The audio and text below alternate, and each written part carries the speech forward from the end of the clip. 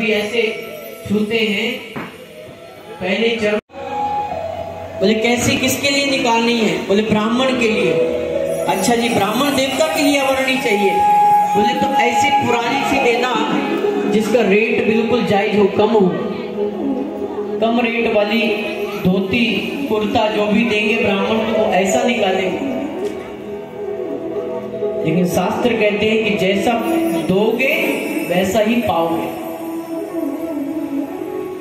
इसलिए देना ऐसा तो भू देवता कह करके संबोधित किया गोस्वामी तुलसीदास जी ने और ब्राह्मणों का वंदन किया।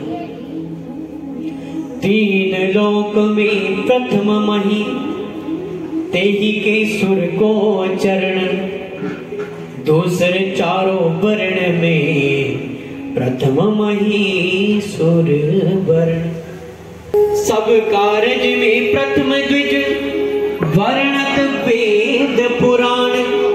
ताते कारज में प्रथम, पाँचों चरण बखान।